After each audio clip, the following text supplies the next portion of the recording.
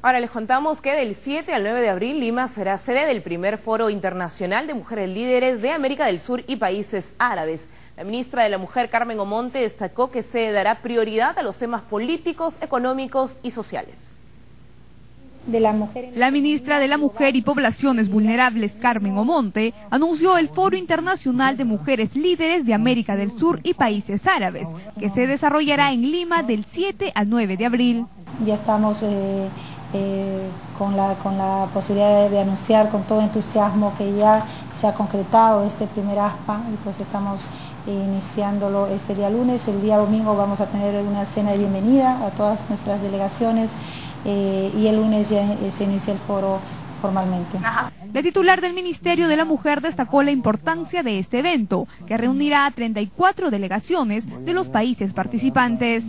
Lo particular de este foro, de este primer ASPA, es que eh, estamos uniendo a dos sociedades eh, que durante muchas décadas se han mantenido al margen de, de establecer y de fortalecer lazos, a pesar de que tenemos mucho en común. También informó que durante los tres días de foro se intercambiarán experiencias en ámbitos políticos, económicos y sociales.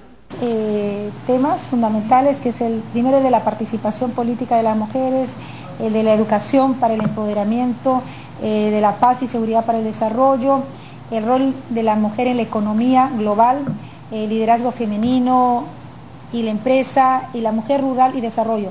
Con este primer foro internacional se buscará el fortalecimiento del rol de las mujeres en la sociedad, tanto en el Perú como en otros países del mundo. Momento de hacer la última pausa, pero al regresar...